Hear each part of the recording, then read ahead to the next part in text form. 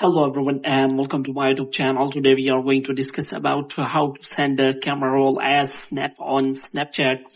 Uh, for example, if you want to send uh, the pictures from your uh, gallery or photos on your iPhone uh, and you do not want to send them from your camera.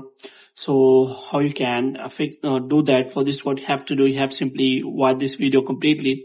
So if you want to send uh, the pictures to anyone like uh, you send us as snap. So how you can uh, simply send them uh, pictures like snap uh, as a camera roll.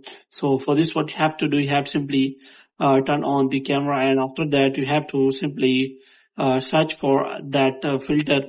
For this what you have to do you have simply search for here a camera roll option here so here you if you search for here then you can simply find that uh, that uh, photos icon is available. So if you simply click on that, then you will find uh, many of uh, the photos here.